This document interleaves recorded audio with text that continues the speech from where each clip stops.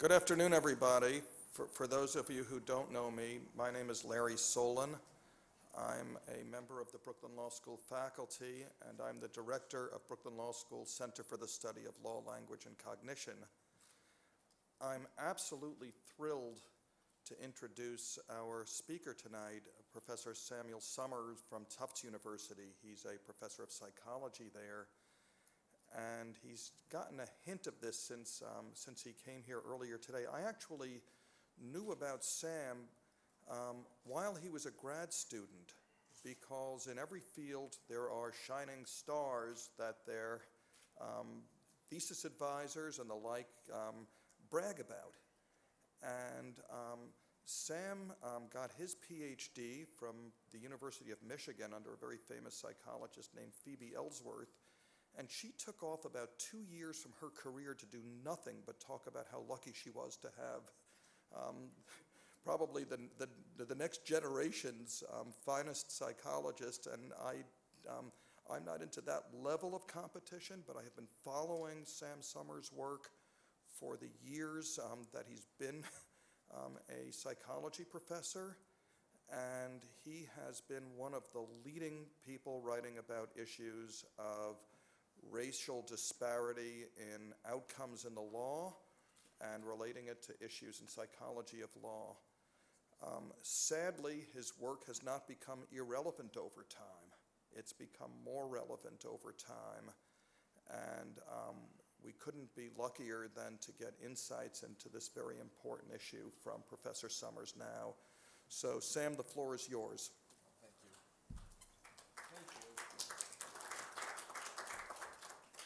Thank you. Larry. That was a very nice uh, introduction and a very nice invitation. I'm happy to be here. Um, I am a social psychologist. I got my PhD, as Larry suggested, at the University uh, of Michigan. Uh, I have long considered myself to be an experimental psychologist who's particularly interested in how the issues of intergroup relations and group diversity and stereotyping and prejudice and racial bias play out in the legal domain among eyewitnesses and attorneys and juries and so forth. And so I'm going to be talking to you about some of that work today, though, frankly, talking about a lot of the great work that some of my really great colleagues have done, and then also give you a sense of some of the work that I've done. Um, I understand the, the theme to this series to be can the legal system do justice even when it tries? Uh, and what I would like to do is talk to you about that question as it relates to to racial disparities and specifically to talk about those disparities across three domains, as you'll see behind me, uh, policing, charging decisions, and criminal trial outcomes. Uh, obviously, and as Larry alluded to, sadly, this remains a very timely set of topics to discuss. Here you see in front of you Trayvon Martin, Michael Brown, uh, Eric Garner. Unfortunately, there are no shortage of photos I could have selected to show you to start this talk. Um, Trayvon Martin, uh, obviously, uh, as we know, a couple years ago, um, died at the hands of George Zimmerman in Sanford, Florida. Michael Brown uh, died at the hands of a white police officer in Ferguson, Missouri, and uh, more locally, Eric Garner uh, here in Staten Island. Uh, there are a, variety of very important and troubling questions we can ask about the deaths of these three men and, and others like them. Um, questions involving the psychological processes that might have been at play in the incidents, the altercations that led to their deaths, uh, the question of how the police in the immediate aftermath of the deaths either played a role in or responded to these incidents, decisions to charge or not charge individuals responsible for these deaths, the jury's decision in the one of these cases that did actually proceed to a, a criminal jury trial. Um, I will not be able to stand up here today, nor do I, let me get this out of the way to start, do I profess to be able to stand up here today and tell you definitively the degree to which race played a role in which of these factors in this case. Um, that's not how behavioral science works, right? I mean, I, I can't stand here and tell you with absolute definitive clarity that this individual died in large part because of racial perception or racially biased perception of him, but this individual did not. This jury's decision was influenced by race to this degree, and this jury's was not. Um, what I can do is talk about what we know in the field more generally, uh, what we know about tendencies regarding perception and cognition and decision making, how those help shed light on these conversations and on these discussions in cases like these and, and, other, and otherwise. As someone who now has started to do some expert witness work, um, both in cases involving race, but also more generally involving limitations of eyewitness uh, memory and so forth in criminal trials, there is this inherent gulf between what people like me, behavioral scientists, do and what people who work in the legal system are trying to do, which is to adjudicate the details in one specific case. And that's not what we as behavioral scientists are usually doing or able to do.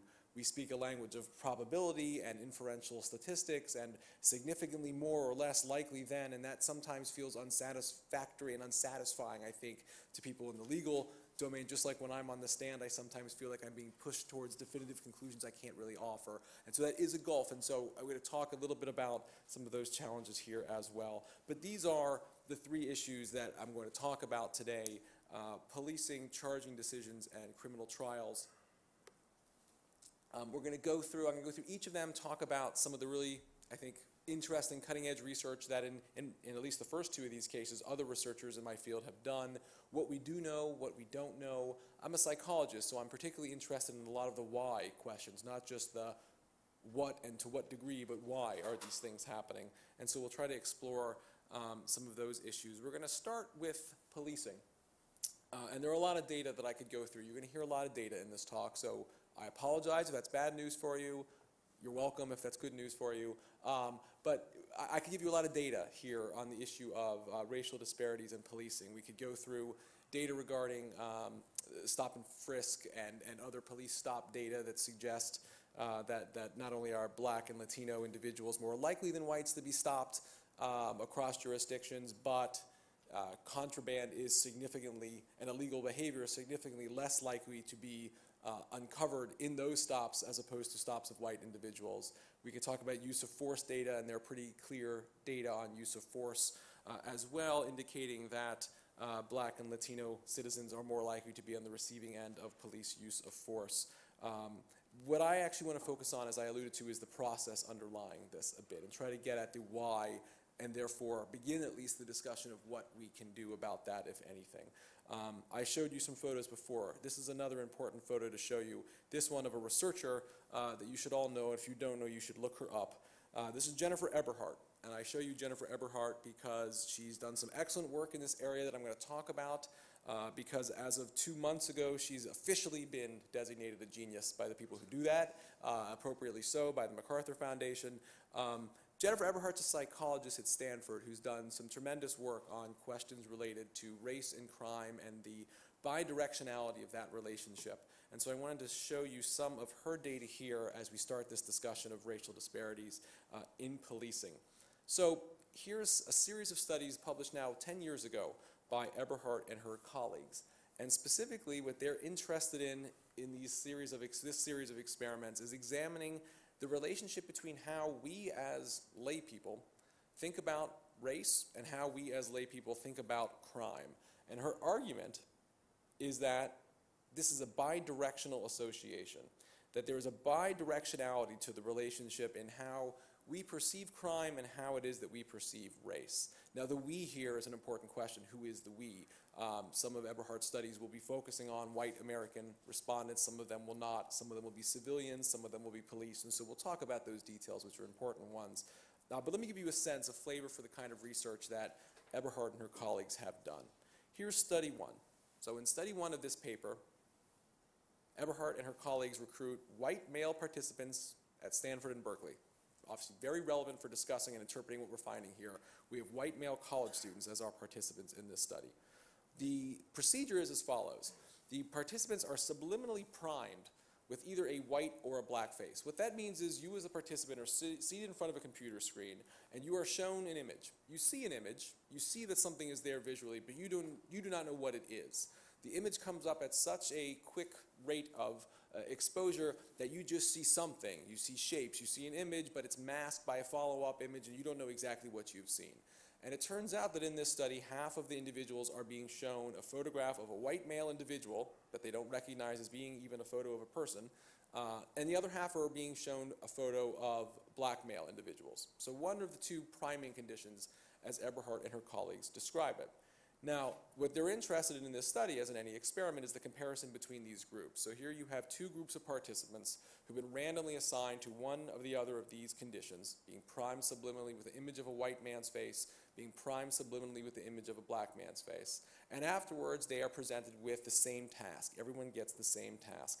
Specifically, their outcome variable something they describe as uh, the, the ability to recognize degraded images. So that's something along these lines. What, what happens in the study is you'll see here, we go from the very beginning to the very end, frame one on the far left is the first image a participant sees, and then with each passing moment, this image comes into clearer and clearer focus. By the time you get to the very end, frame 41, you can see that this is a weapon of some sort.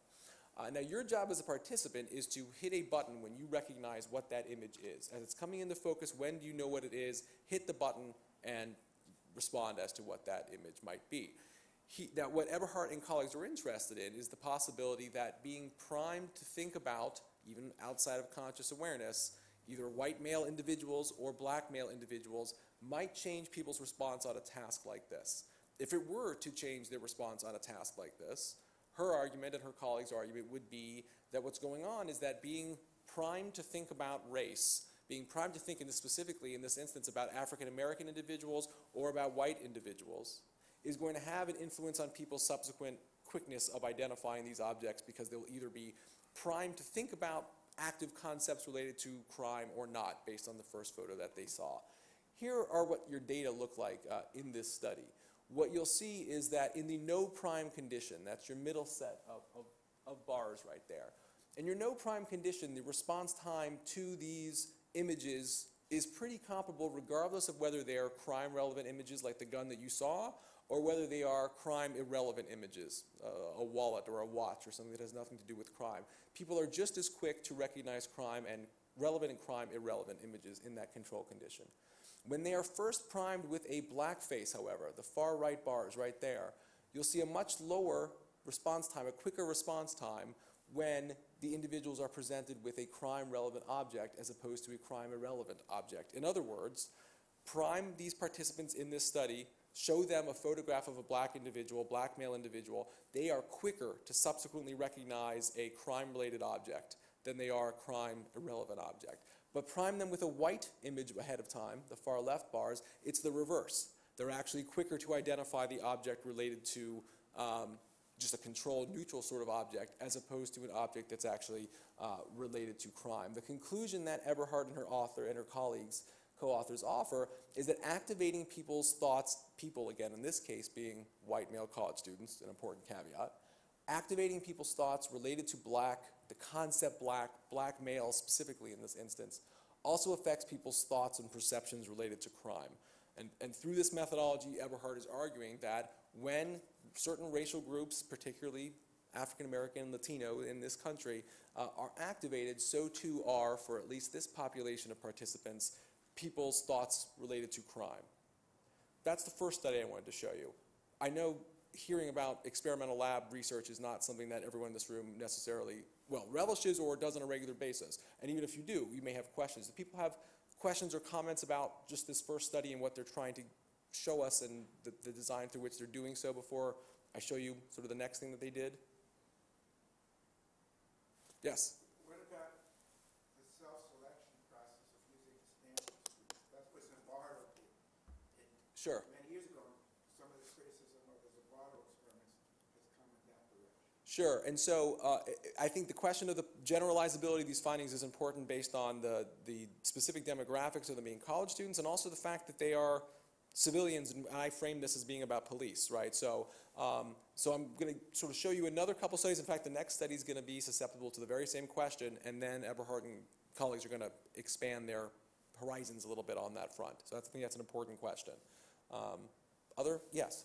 This is actually another question about, I guess, the subsequent questions. Does gender play a role in their research? Did they do the similar things with female faces? Great question. No, they didn't, right? And, and, and this study and a lot of studies you see in the behavioral sciences, Uh, when people are talking about stereotypes related to, let's say, African Americans and criminality, that's often really a discussion about African American men, even though nobody is saying that explicitly.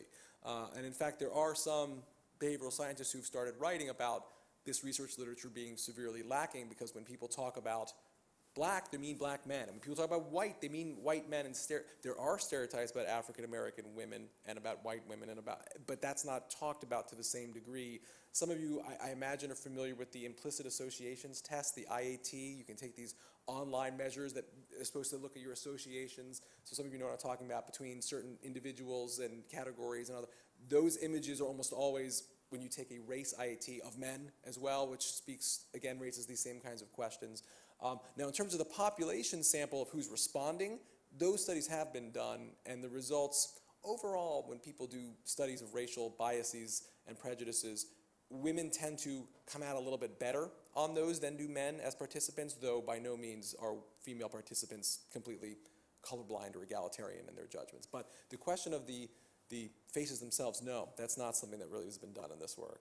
Um, I mentioned a bidirectionality here, right? If you think about what Eberhardt and her colleagues did in this first study, they showed that activating thoughts about race could affect people's perceptions related to crime. What they do in their second study is they turn this around. Uh, again, and we'll discuss this, white male Stanford students in this second study, this time the priming that's used, the manipulation in experimental terminology that's used, is one related to either a crime-related object or not a crime-related object. So again, I'm subliminally being shown images, some of them related to crime, some of them not related to crime. And in this instance, my outcome measure is one that's related to, to race and ethnicity. Specifically, they're measuring response time on what's known as a dot probe task, which all sounds very abstract and hard to, to grasp. So let's actually look at what that appears from the participant standpoint. If, again, if you're a participant in this study, first you've been shown some images that are either related to crime or not, and you don't recognize that they are. You've been shown these subliminally at a level that you, your brain registers, but you don't necessarily consciously uh, appreciate. And then you're seated in front of a computer monitor and you're supposed to look at a fixation cross such as the following. Fixation cross is there for a certain amount of time. After that, pop onto the screen two faces like this. Your job still to do nothing, just look at the screen. Your actual job on this task is to identify which side of the screen this dot appears on. And if it appears on the left side, as you look at the screen, you would push the left side of the keyboard. If it appears on the right side, you would push a different button. And so that's your task, is to find where this dot is. Now, when you think about what you're doing in this task, let's say you're looking at the screen and forget that these are faces for a moment. Let's say you're just looking at the screen and you happen to be looking at the right side of a screen for some reason. When the dot is on the left side of the screen, it will therefore take you a little bit longer to locate it because you were looking at the right side and you've now got to move and find it on the left side. Right? If you were looking at the left side of the screen to begin with, you should be quicker to recognize the dot when it's on that same left side of the screen because your eyes are already in that general direction. Eberhardt and colleagues make use of this paradigm that's used, been used to assess attention more generally to look at, in this instance, how it is that the priming of crime or non-crime related objects affects people's visual attention. Specifically, they find the following. When people in the study, participants in the study, were shown no crime-related primes at all beforehand, so sort of a neutral baseline condition, you'll see the, the black bar on the left, which is their response time when the dot is in the same part of the screen that a black face was on, is a higher response time than the response time in the white bar. Again, suggesting, or in plain English, suggesting that when there was no prime at all in a control condition, if anything, people who were shown these faces, at least the white college students in this sample, were more likely to spend more time looking at the white face. Make of that what you will. Maybe we are likely to stare at faces that are more similar to ours, um, but that's what they find in the baseline condition. That reverses when they were first primed with crime-related objects. In other words, when these participants were first shown subliminal images related to crime, they became much quicker recognizing that dot when it was behind the black face than behind the white face, suggesting that their visual attention was drawn towards the black face after having been primed with the crime-related object. What Eberhardt and colleagues suggest here is that activating people's thoughts related to crime, in this study at least, leads to more attention being paid to black faces. So this is their bidirectionality argument, that if I make my college student, at least, participants think about crime, they will pay more attention to individuals of certain racial groups. If I make them think about certain racial groups, they will be quicker to jump on an image related to crime, and there, there's an association that's going on there cognitively. Now, I've alluded to, and you've raised questions about the participant sample. They go on to do this study with community members. They go on to do this study with police participants as well, and find fairly consistent results among non-white samples uh, and among police officer uh, uh, as participants. And the fact that you find, not just in this study, but across the board in, in a lot of behavioral sciences research, some similar, not exactly the same, but some similar findings among white respondents versus African American respondents versus members of other racial and ethnic groups suggests clearly that there's a well, there's a, a complicated story going on here, one that's not a simple in-group, out-group. People of my group I treat one way, people of the other group I treat a different way. There's something more complex going on here related to awareness of cultural stereotypes and beliefs related to crime and, and race in this instant, in this instance.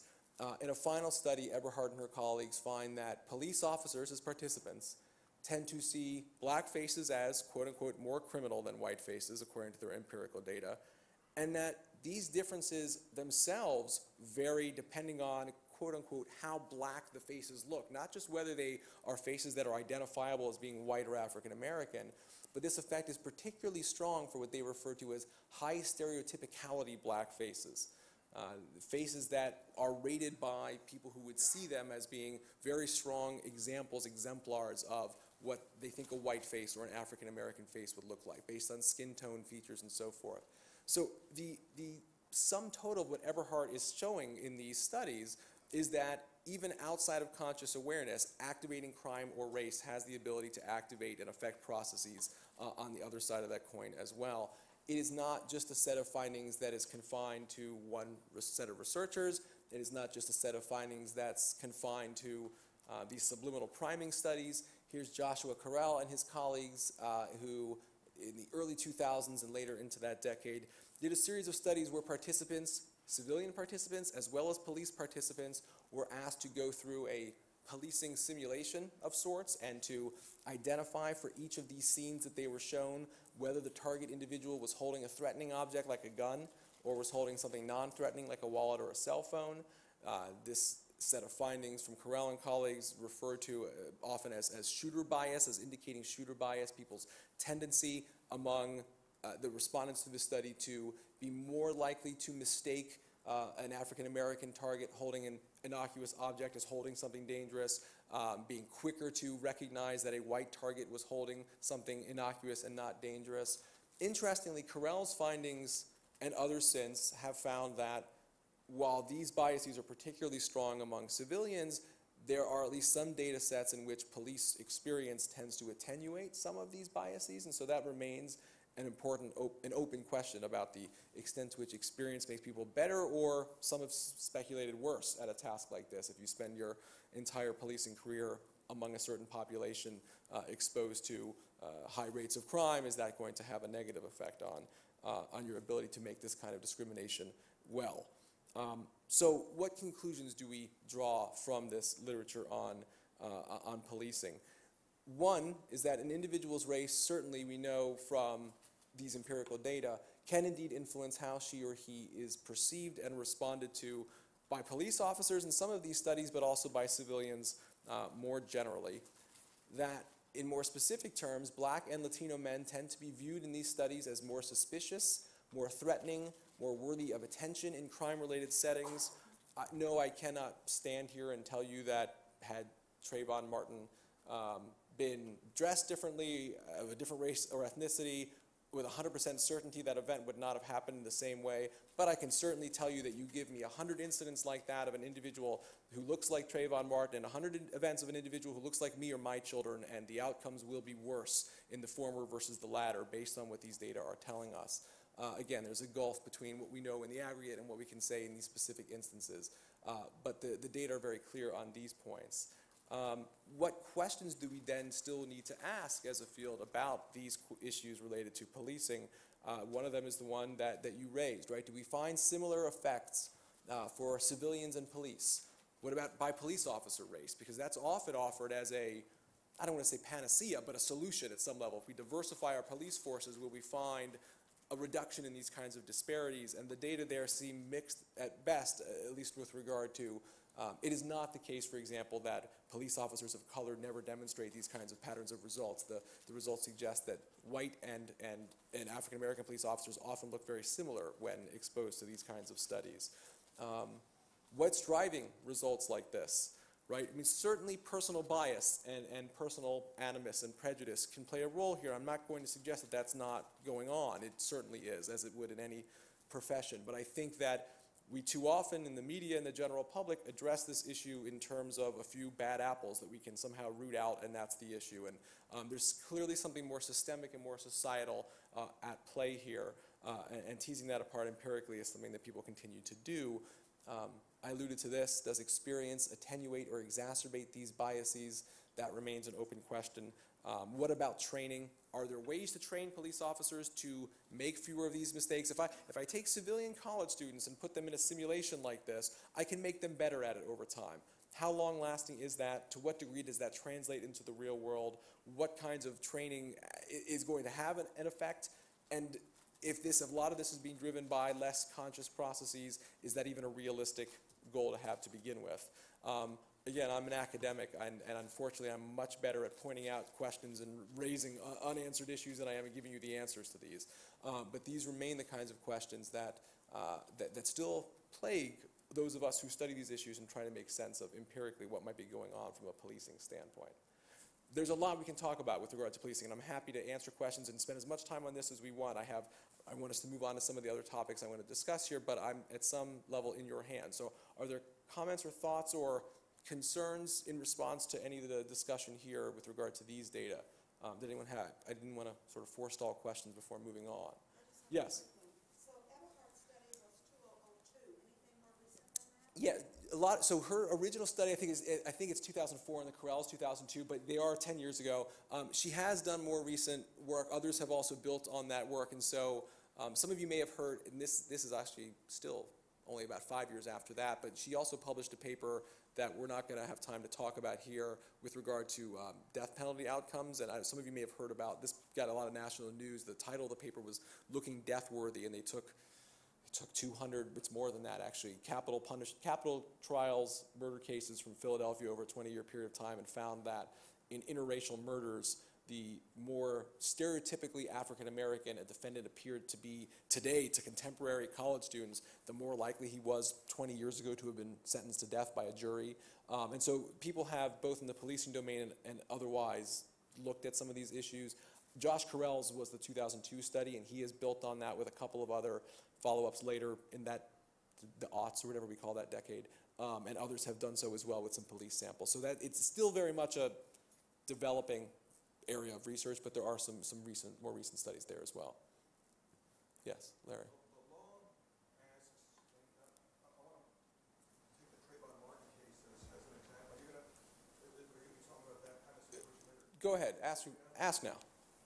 The, the, the law asks whether Zimmerman was actually afraid, it's, it's a matter of, uh, of what the law calls subjective fear. That is, that the jury's gonna have to decide when he says, I did what I did because I was afraid uh, of, of uh, imminent bodily harm or worse, that he really did.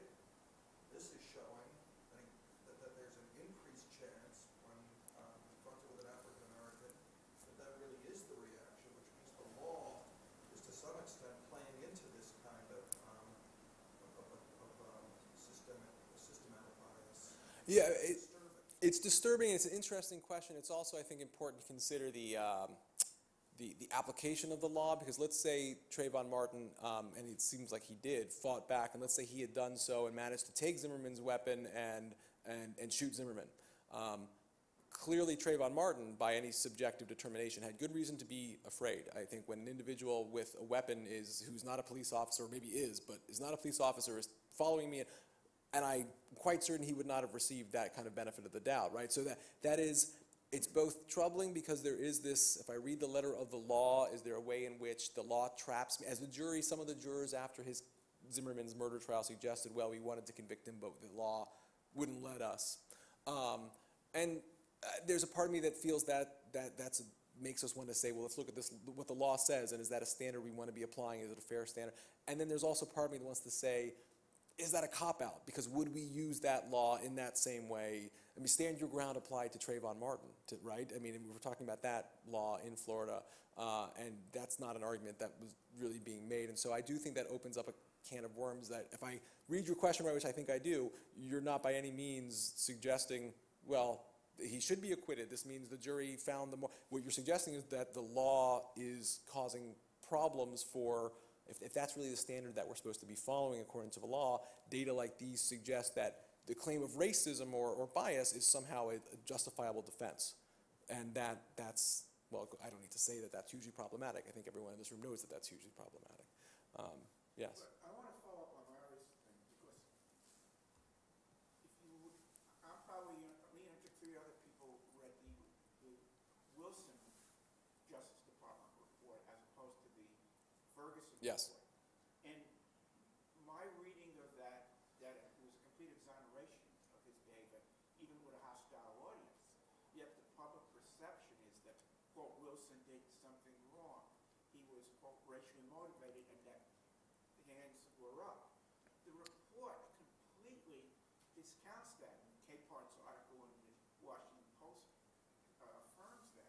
So isn't there, I know you're dealing with probabilities and not individual cases, but isn't that, uh, as a social scientist, kind of uh, stereotypically, and the other direction perhaps troubling, that so much has been built into the zeitgeist and of that image and of what it stood for, that very few people have looked at that report as opposed to the, the other report. Well, I guess what I would say is, if I could offer a slightly different perspective, would be you suggested that the general consensus seems to be that Wilson did something wrong. I'm not sure that's true. I think I, I, I have enough, not that it's scientific, but I have enough things that piss me off in my Facebook feed that come up, uh, and that I that, that suggest. I think there's a substantial, and the polling suggests that a substantial portion. Of, back to our question of who the population is, a substantial, if not a majority, of, of individuals believes that Officer Wilson is a hero, um, to whom But it's based on millions of dollars should be given.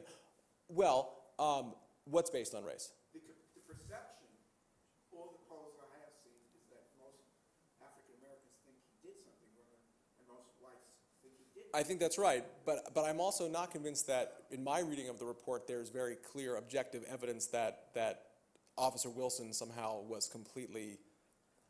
I find it very hard to believe, and I, I'm speaking a bit out of turn here because I'm an informed opinion, but not, but a personal one.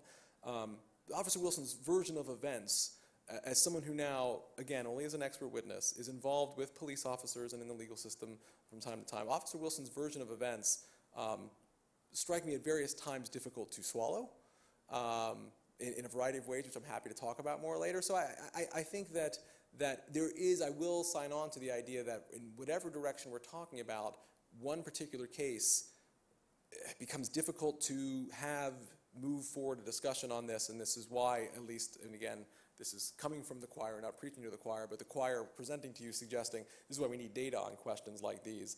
Um, I, I do think it's difficult with one particular case to, uh, people have formed very strong opinions, and one, one, one person's objective data is another person's uh, uh, whitewashed versions of events. So I think that is, I, I understand what you're saying about that for sure. Um, I want to talk a little bit about charging decisions here. Um, and I want to say a little bit because there's not nearly as much research on this question. Um, this is, here's your first bullet point. It's a topic in need of, of, of more research attention. Um, what do we actually know about race and charging decisions? A lot of what we know uh, comes from studies of capital trial outcomes. There are great data that I'm sure many people in this room know about from David Baldus and other colleagues who've looked at the outcomes in capital trial. Great data from a research standpoint, certainly not from a societal standpoint, um, that make it very clear that, in particular, the race of a victim in a uh, capital murder case has a tremendous, uh, well, effect is causal, has a very strong predictive relationship with the outcome in that case, that individuals who are convicted of murdering, uh, of killing black individuals are much less likely to receive the death penalty than individuals who are convicted of killing white individuals. Uh, now, that is often talked about at the jury level uh, in terms of juries making decisions, and that certainly plays a role here. Uh, But it is also the case that there are some data that suggests that the just decision to seek the death penalty different um, in capital trial cases, capital trials with uh, white victims than it would be um, with, in incidents with, uh, with black victims. But I also want to talk about some data that are maybe more tangentially relevant, but I think also speak to these questions that too often get talked about in terms of just the police and juries and not what happens in between. And as we all, as many of us know, what happens in between is often 98% of the cases that don't even get to the point of a jury trial. Um, for one, our perceptions of juveniles and the extent to which that's colored by race. Uh, here's some data from just a couple years ago. Anita Rattan, uh, coincidentally also at Stanford, uh, and colleagues uh, presented a community sample, not college students, a community sample of, of jury eligible citizens uh, with information about, at the time, somewhat recent Supreme Court review of life sentences for juveniles, for juvenile defendants. Um, what they did was they embedded an example in the material they presented to the participants, an example of one particular individual who, a juvenile who may be, or at least they were pending or trying to decide whether charging him as an adult would be a reasonable thing to do. So em- embedded was an example of a 14-year-old uh, with more than a dozen previous convictions who is now facing rape charges. Uh, and it wasn't that the participants were asked to make decisions about that particular individual. It was just that this was the illustrative example that was shown as, as uh, sort of a concrete issue to think about in pondering this question of charging juveniles as adults. Um, when this exemplar was a black individual versus a white individual, the results look very different.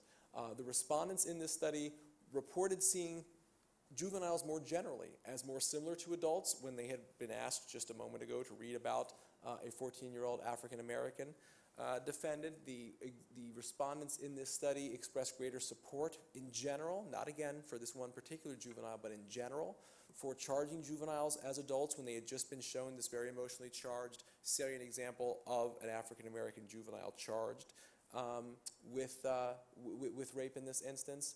Again, suggesting that what the prototypical cases are that grab people's attention, that lead to the, the viral videos and news stories that go through people's social media feeds or that get the attention of the 24 hour news channels are not coincidental. That, that race and class and, and other variables that we're talking about here play a major role in what it is that sort of captures that zeitgeist and captures the attention uh, of the public at large. And in this instance, when that exemplar is an African American 14 year old, people are much more on board with the idea of charging uh, a juvenile as an adult.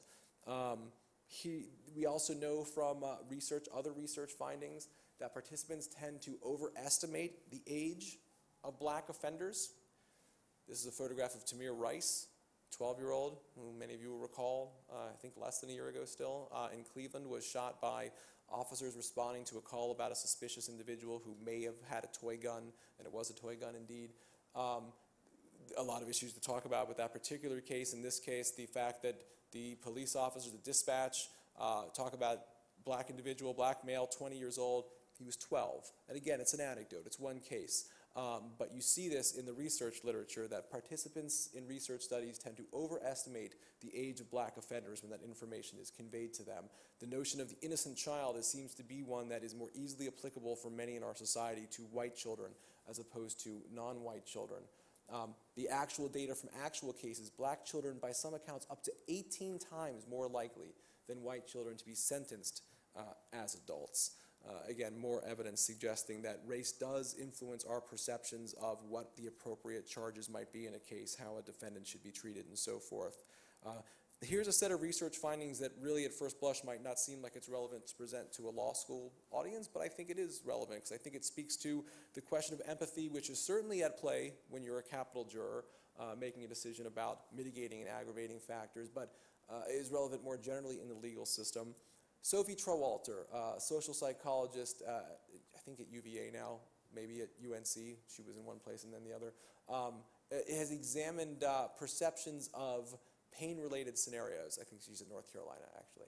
And what Trawalter and her colleagues have done is presented a series of just fictional store individuals, profiles of individuals, and asked participants to rate the degree to which they think the person, the party in question, is experiencing uh, any sort of physical pain.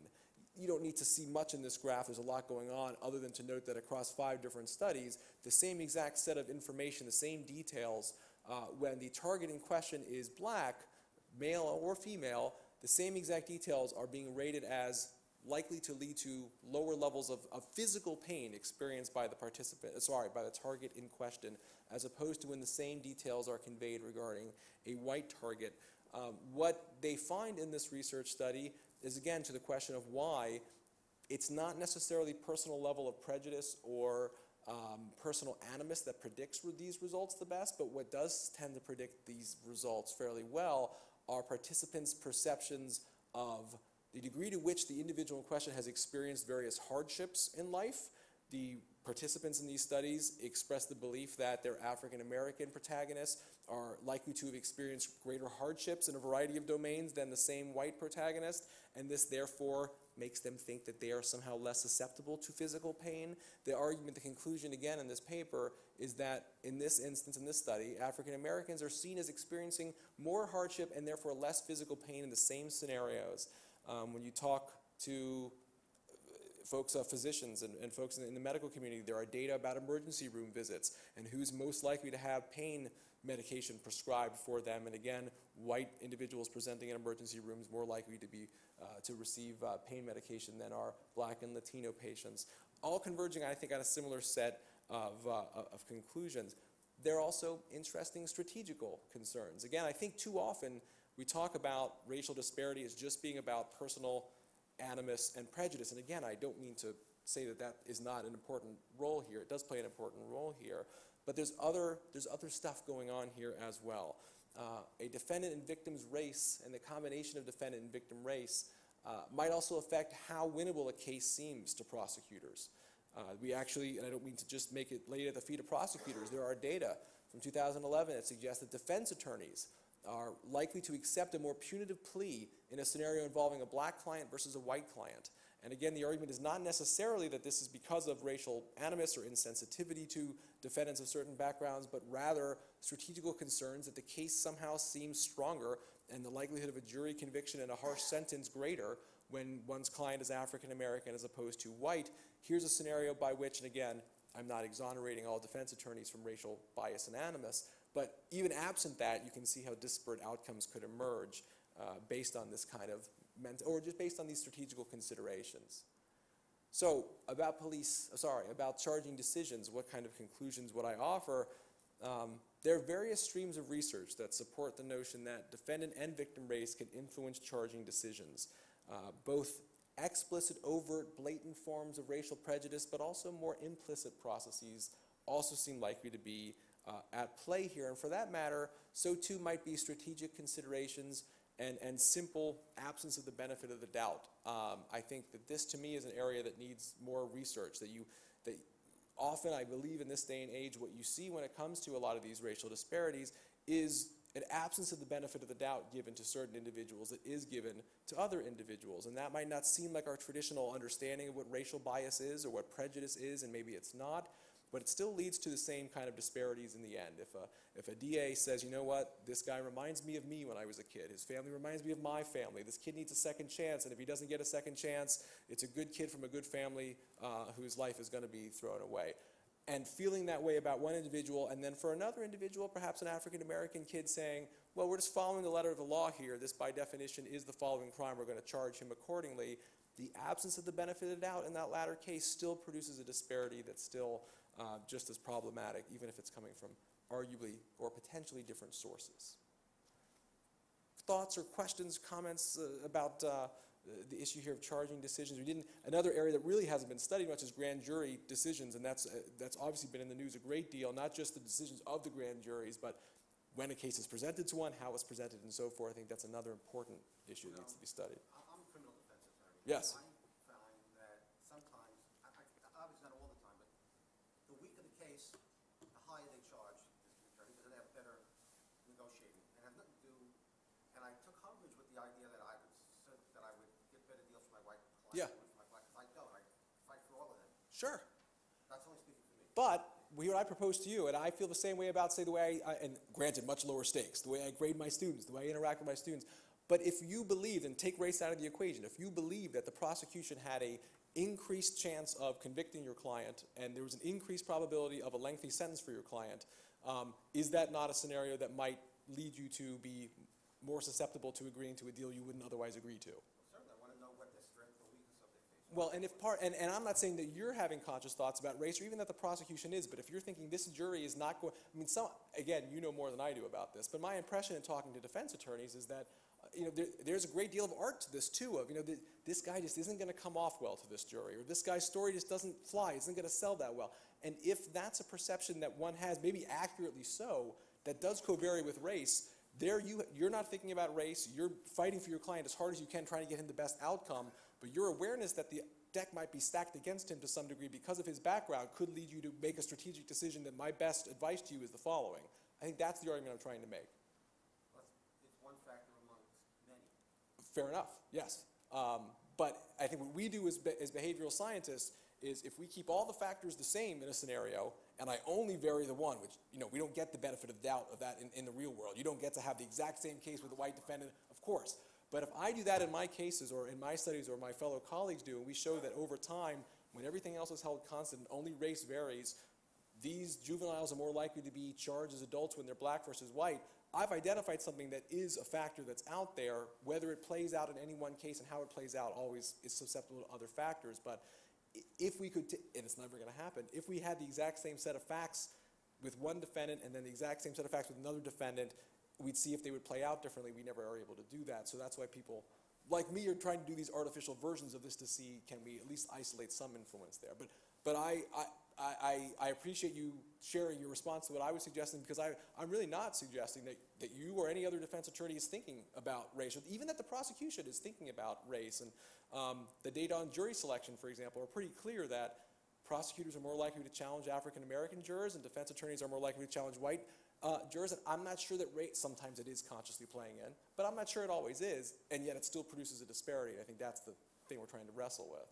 Um, Has anybody done a study of a black district attorney's office in relation to the charge where the former DA was white, say like in Dallas or someplace like that, where the black DA has, of course, we know whether or not he's going to be elected, has conflicting agendas of compassion, empathy to the community, Yeah. and charging to be, quote, tough on crime. Yeah, I'm not sure that I'm uh, familiar with people do, having done analyses at that level. I mean, what, what we know, the archival analyses that tend to be done don't tend to focus on a particular set of circumstances like that politically or, or, or in terms of uh, the, the transition from one uh, succession of one DA to another, but more generally show us things like, in the aggregate, how the race of a defendant or victim might tend to play out, or how, um, again, as the jury selection example, uh, how the race of prospective jurors might influence the way that they're, they're treated and so forth. I mean, it's an inter- it, it- again gets to the dicey question of, okay, if we're dealing with one particular city with one particular history and legacy, how do we, how does it all play out? And that often is hard for our behavioral scientists to know how to make heads or tails of. Um, other questions on the charging decisions thing? Question, topic? What I wanted to leave you with, and we've been doing, I think, questions throughout, which I think is great, so I'm going to talk a little bit more and get us, okay. Um, so I'm going to leave you a little bit of data here about criminal trials as well. Um, and I'm, there are a- whole host of questions we could ask about criminal trials. How does the race of a defendant influence the treatment that he or she receives? Um, how does the racial content of a trial, and whether it's a racially charged case in a racially charged climate, how does that play out? Um, I'm just going to tackle one because that's what we have time for. Um, one set of issues related to, uh, to criminal trials and, and race. Specifically, I'm going to talk to you a little bit about how a jury's racial composition can have an impact on its decision-making processes. So this is a study that I, that I ran, um, so I'm going to give you a little bit of my research here. We recruited our participants from an actual jury pool, so these are not college students, they're jury-eligible citizens. They were actually recruited during the course of their jury duty uh, in, in southeast Michigan when we ran the study. So the jurors had the option to fulfill their jury duty by being in our court-sponsored project on, well, court cooperating with or tolerating uh, project on jury decision-making. Uh, and so what we did in this study was we composed six-person mock juries. Uh, and the first thing that we had them do, and I'll explain this in a moment, is complete a written voir dire, just a very simple jury selection uh, questionnaire. And then they all watched the same criminal trial video involving an African American defendant. Uh, what we did was then it's a mock jury simulation, a mock jury experiment. We recorded their deliberations. Now, all the caveats that are already coming to your mind are all very valid. The decisions that these juries made carried no legal repercussion. They knew that. I will tell you, and we'll watch a couple snippets here in a moment, they took it very seriously, but they took it very seriously as a simulation. So make no mistake, this is a simulated study. Um, it's a six-person mock jury, and in criminal cases in this jurisdiction in Michigan were usually decided by 12-person juries. We didn't have a jury selection, we just randomly created the juries, and so all of those are absolutely fair um, qualifications to keep in mind. Specifically, though, we were interested in asking a couple of uh, questions about the racial composition of our juries and what effects that might have. So, one thing that we varied was the racial composition of our juries. Half of our mock juries were all white juries, six white mock jurors, and half of our mock juries were um, racially diverse, which in this study, and there's not, this is not to suggest this is the only way to do this, but in this study uh, meant that we had four white and two African American um, mock jurors on the jury. You might ask, well, what about a 3-3 split or a predominantly black jury? And that would be very interesting and important to look at. In this population that we had, uh, this was the rate at which we were allowed to use participants. It was at the rate at which they appeared in the actual jury pool. Uh, and so that's how we decided to define our diverse and our all-white juries. We were interested in asking the question, uh, how does the jury's racial composition affect its decision, uh, and how does it affect uh, its final um, well, its, its decision, its dynamics, as well as its final verdict. Uh, we were also interested, sorry, let me get you to this slide here. We were also interested in a question, and this is why I mentioned that we talk about uh, uh, the, the voir dire here, why the jurors had a voir dire. We were also interested in the question of how did the pretrial jury selection questions that these jurors were asked, how might that influence uh, their subsequent deliberations? The, the nature of this variable came from I, I, was, as, as Larry mentioned, I was a graduate student at the University of Michigan. Uh, early in my graduate school career, I was invited to give a talk about my research to a, a brown bag of judges, uh, which in my mind was the absolute scariest thing I'd ever been asked to do.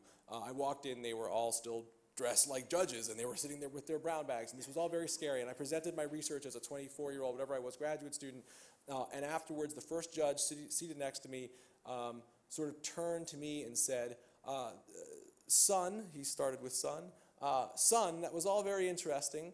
Um, but I, what I'm curious about, this influence that race has on, on jurors or defendants' race, I'm interested in, you know, what are we supposed to do about it? And so I started to marshal the strength and confidence to give an answer that I thought could be at least plausible for a judge. And I learned a very important lesson that's always stayed with me, which is when the judge asks the question, the judge already knows the answer. Um, and the judge's response was, let me tell you what I do in my courtroom. What I do in my courtroom is I say to the prospective jurors during jury selection, during voir dire, this trial involves an African American defendant. You're a white guy. Can you be fair? And they all look at me and say, Yes, Your Honor. So he basically. Um, I thought that was fascinating. Uh, I was scared out of my mind, but I thought it was fascinating. Um, as a behavioral scientist who knows what people tell you and don't tell you during self report questions, um, it got me thinking okay, I doubt that many jurors want to get out of jury duty that badly that they're going to admit to or fabricate uh, biases to do so. Um, but what is the experience of being asked to think about those kinds of issues before a trial as opposed to not being asked to think about issues like that before the trial? And so we had two versions of our um, voir dire here. We had a race neutral version in which all the pretrial questions were simply about legal attitudes and so forth. We also had uh, a race relevant condition uh, in which questions included things like this trial involves an African American defendant and white victims. How might this affect your reactions to the trial? In your opinion, how does the race of a defendant influence the treatment that he or she receives in the legal system? You'll note these questions were not really designed to be the ones that would lead to the quick yes, no, your honor kind of response. Most people said things, in fact, the, the answers even weren't really what we cared about. Most people said things like, uh, it won't, or I'd like to think that it won't. It'll be important to me that it won't. Uh, but we were interested in just that mere experience of being asked these questions. Um, what kind of effect might that have on people's uh, outcomes in the study or their, their decisions in the study? So there are a lot of data that I could show you here um, from, these, uh, from this study. I'm just going to show you one slide and then a couple of quick um, clips from it and then wrap things up. One thing we did is we were interested in how um, jurors themselves might respond to this case differently based on the composition of their jury, based on the questions they've been asked ahead of time. There's a lot going on in this slide. These are their pre-deliberation data. Now again, in a departure from what you'd actually do in a real trial, we gave our jurors one piece of paper with one question before they began deliberations that simply said, right now, if you had to vote, guilty or not guilty, secret ballot, no one will ever see it on the jury, you're not committed to this, but let us know what your, your current leanings are. Um, you recall this was a, a trial in which the defendant was African American in all versions of the study. And we found, for one, that our, our yellow bars here, that's our black jurors uh, on the diverse juries, were less likely to vote or to think that the black defendant was guilty than were our white jurors. That's a finding that many a study has actually reported, um, that, that white jurors are more likely to convict uh, black defendants or black jurors are less likely to convict black defendants, however you want to parse those data. Um, we also found, which I think is among the more interesting set of findings here, differences between our blue and our red bars. The blue bars are the white jurors on diverse juries. The red bars are the white jurors on all white homogeneous juries. You'll note that before deliberations began, our white jurors who knew they were going to have to discuss this case in a racially diverse jury were less likely to think that that black defendant was guilty than were our white jurors who knew they'd be discussing this case in an all white jury. Now, I can't stand here and tell you that that means that our, our black jurors I'm sorry, our white jurors on our diverse juries were somehow better, more rigorous attendees to the idea of reasonable doubt. I can't tell you that it means they were bending over backwards to say he was not guilty because they were worried about what was going to go on after. Um, but there's a clear recognition from these data, at least, that when we talk about things like jury diversity or jury uh, composition, that's not just a question of well, if you get a diverse jury, you bring additional viewpoints into the courtroom, into the jury room. That might be true, uh, but you also presumably have effects on the other people who would otherwise already be in the jury room. I mean, I study diversity more generally in my research these days, and too often at, say, a university setting, the discussion is, well, you know, diversity is important, and the, the onus for that, those effects are placed on the women in the science and engineering courses, or the faculty in those departments, or, or the, uh, the, the students of underrepresented groups who are being recruited for a certain program.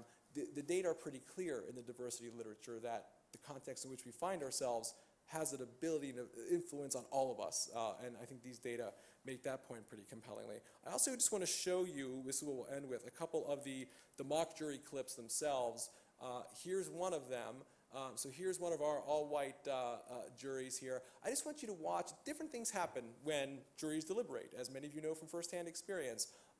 I want you to watch the differences in how issues related to race are treated when you see them come up on an all-white jury versus when you see them come up in a racially diverse jury.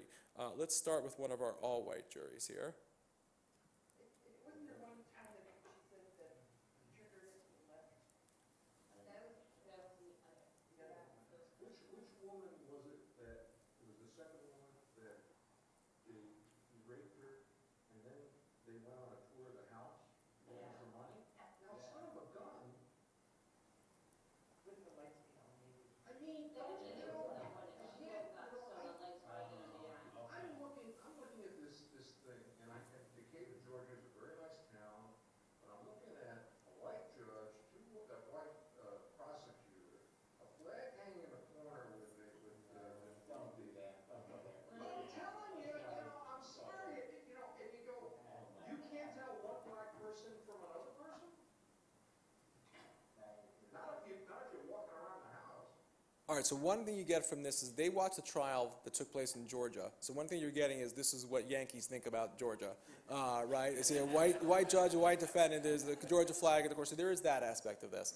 Um, but what you also see every time on these all-white juries when race comes up, there's an almost immediate response among at least one, if not multiple other jurors to be like, whoa, whoa, what are we doing here? Why are we talking about race? That, that, how is that relevant? That's not an issue we should even be considering in this case.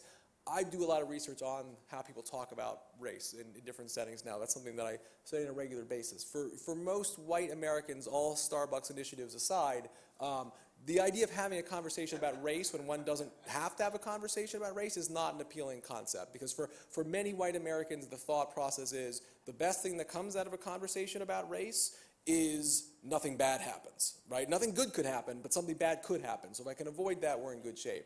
Um, watch what happens when race comes up on uh, one of the racially diverse juries. It still created a doubt in my mind, uh, still where I was beginning, I feel like always did. Right. There's too, too many, too much uncertainty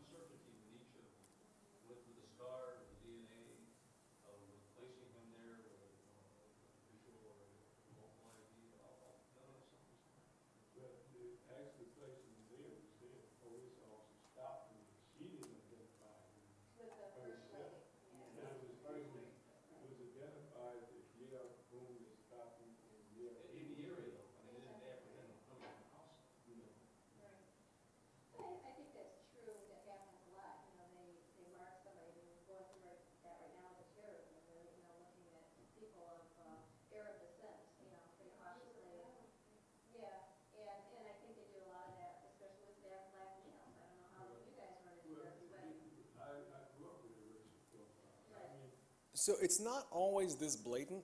It's not always, so you know, there's like racial profiling. Are you with me, black guys? Right? So it's not always like that. But when, when questions about race or, or the possibility of bias or just profiling or these kind of controversial and, and less comfortable questions for some people come up on the diverse juries, they disagree and they don't always relish the conversation. And in some instances, they start yelling at each other, but they do have the conversation. Um, it, it is hard you know, to, to operationalize how do we, what makes a jury better or worse is a very dicey proposition to get into. But I would propose that having jurors who are willing to at least engage on controversial and uncomfortable issues is something that often we want our, our jury system to uh, aspire to. So I will conclude here just by saying, um, I I don't believe I provided, nor was my goal, or did I ever profess to be able to provide very concrete answers to the questions of to what degree does race influence this case when it comes to the policing and to the charging decisions and the trial outcomes and so forth. But I do believe that behavioral science does have a contribution to make to those discussions. I do believe that in addition to a lot of the data that we need regarding greater data collection from police officers and police precincts regarding stops and use of force and so forth, and, um, and, and all those data that we need, that we do need a convergence of um, perspectives on these kinds of questions, and that the disparities that we're talking about here are not easy to deal with because they come from many, many different places. They come from awareness of cultural stereotypes. They come, yes, sometimes from personal uh, animus and personal bias, but they come from strategical considerations and, and other processes and factors that I think most of us might agree are on their face race neutral, but in the end have the potential at least to, uh, to predict some, some disparities by race as well. So I thank you for, for your attention, and I'm more than happy to answer questions and discuss more informally after the talk as well. But, but thank you very much.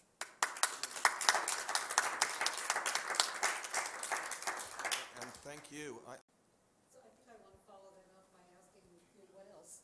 Um, As of course you know, this is all deeply depressing. And so is there any area that you've been talking about where people have done research indicating a possible solution? Your jury instructions are one thing, you know, better voir dire questions, you know. Is there Yeah. any sign of hope of what we can do to reduce the disparities? So, some of some of the data on on policing and some of the training programs have at least show some glimmer of of um, uh, of optim- reason for optimism. There there at least also are now more police departments saying the right things about this. There is, for example, I uh, NSF has funded and and and various. Um, uh, police departments across uh, North America have agreed to this uh, uh, collaboration by which they're going to have much more extensive data collection on things like demographics as it relates to, to, to arrest rates and stop rates and search uh, hit rates for contraband and so forth. And so at least there is there's that conversation and, and going on with regard to sort of a database nationwide regarding racial profiling. Um, I, the, on the charging questions, I, I don't think there's even all that much research out there on those issues. I think you're going to you're starting to hear more more people. I've heard more people talk about use the phrase grand jury in asking me questions in the last six months than it occurred in the last the ten years before that. In the wake of uh, of some of these cases here, I mean, it is back to Larry's question about what the law means and is it talking about a subjective um, interpretation of, of fear and feeling threatened. Uh, I mean, I, I think back to, the, to when I was a grad student taking a couple law courses at the University of Michigan, the question of, well, if the research tells us that people, humans have a basic, I don't want to say predisposition, but show a marked tendency towards certain types of behaviors, how, how possible is it to legislate against those? I, I, that's an that, that, that's frustrating. I, I don't think that's reason not to try, and no one's suggesting it's reason not to try. Uh, I, I think that we do have a success story with eyewitness research to some degree. We need a whole lot, I think, more data. There aren't that many data. Still, when we talk about questions of police stops and racial disparities otherwise, most people want to talk about salient examples, high profile cases, individual anecdotes, and as wiser people than I have often said, the plural of anecdote is not data. And so, um, yeah, I, I wish I had a better answer than that. I'm not, I'm not quite sure um, that in those other domains we've made a whole lot of, of headway with these.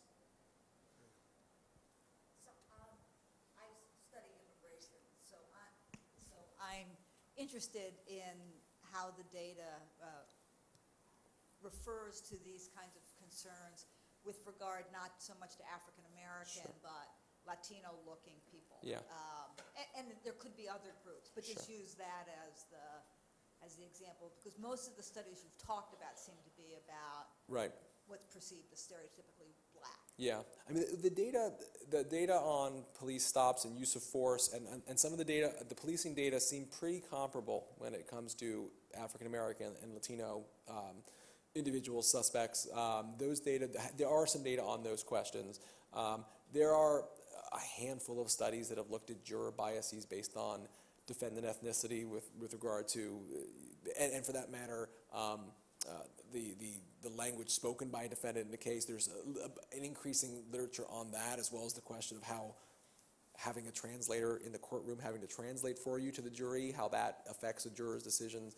Uh, I expect that we're only going to see more research along those lines in the years to come, but it is true that for historical reasons, as well as because the behavioral scientists have often had that myopic, no pun intended, black and white view of how race relations work, that that is what the bulk of the research really is, has focused on to date.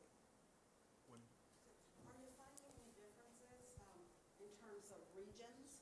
Uh, How are, how are, um, how, how will the data come out, or does the data come out when you look at um, people in the south as opposed to people in the north, and then the west versus the Yeah. east? uh, Because there might be something there. Yeah. uh, Well, Along those lines as well. And back to the previous question, when, when you talk about, when I was running this study in southeastern Michigan, when you talked about race, it made sense, white and African American made sense, but in California, that's not the way it's talked about. And so just what the groups are we're considering to begin with.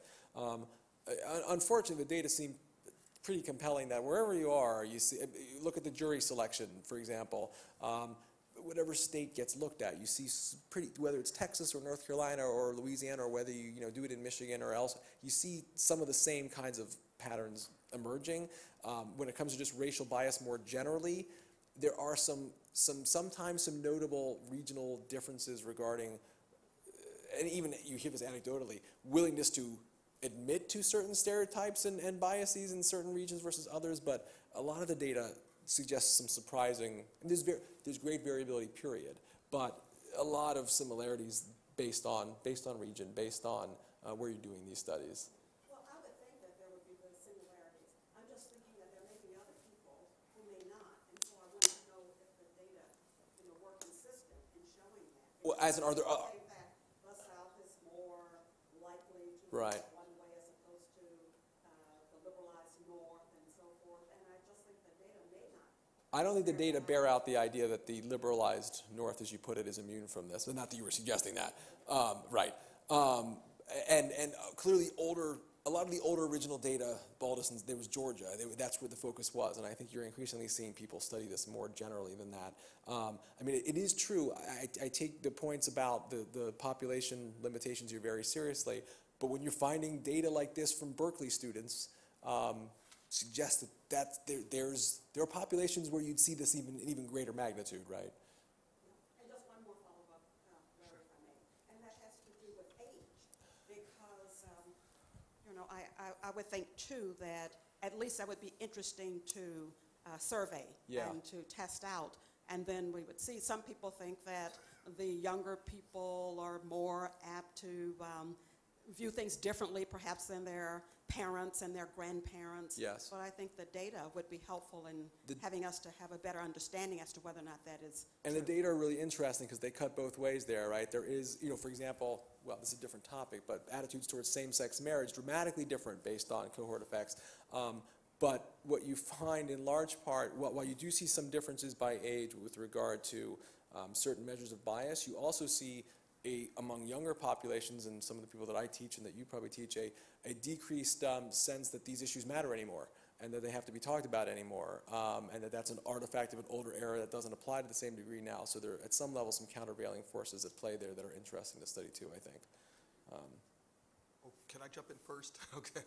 Um, There's something that you raised in the second part of your talk that I, that I want to get back to, which was the perception that African Americans experience pain less than white people for Yeah. the same experience. We have a colleague named Adam Kolber who's written about the, the notion of, of retribution, and there's a lot of social psychological um, research showing that people have ret- retributional impulses driving some of their decisions about criminality and how much punishment people should have. If certain, and, and the amount of punishment you should have, um, if, if that has something to do with how, how, how much you're going to suffer, so if you do something if, if, A does something worse than B, then A should suffer more for it in punishment. And black people seem to suffer less than white people, then you're gonna expect black people to get somewhat longer sentences so they could suffer as much as white people for the same, um, crime. That's, that's pretty bad. But it, it, it may well be happening. It's sort of the Martha Stewart effect, you know, for somebody who's that soft, she suffers enough by not being able to go to per se. And, uh, but, but if you generalize it to your results, it's quite disturbing. Yeah, yeah. yeah. Mary Ellen, last question? Oh, So Then there's a reception. You can, you can talk all you want for the next half hour. Just a, a quick question about the data, another one following up on Winnie. So do any of these uh, studies, or do many of them look at essentially college students of, um, of color? And Yeah. I wondered if you could just kind of talk about that a little bit. They do, um, the, that, yes, they do. Um, the, the data, uh, suggests that in a lot of the, like the Eberhardt et al. and the Correll studies, the ones we're looking at perceptions of criminality and, um, and for that matter, the im- implicit association test that I alluded to earlier, um, you do, of course, see, well, great within-group variability for all racial groups that are studied.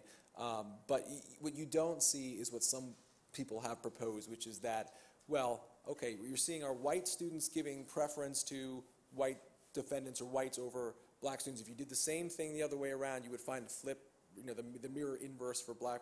That's not what you tend to see. You tend to see greater variability often in the response of uh, the, the, the students of color, um, but some of the same evidence of influence of some of these cultural and societal stereotypes that are out there manifesting in their responses as well.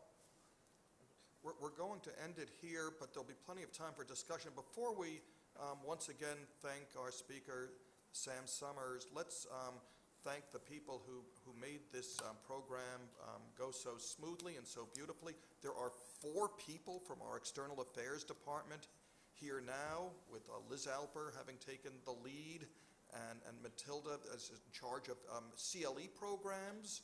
Um, sign out if you're supposed to and get your certificate so you don't turn into a pillar of salt. Our IT um, staff has been here. So um, lots of people make it so that things look like they were effortless, but it's because of all the effort they're doing. So let's thank them, and then let's thank Sam Sommers. Thank you so much.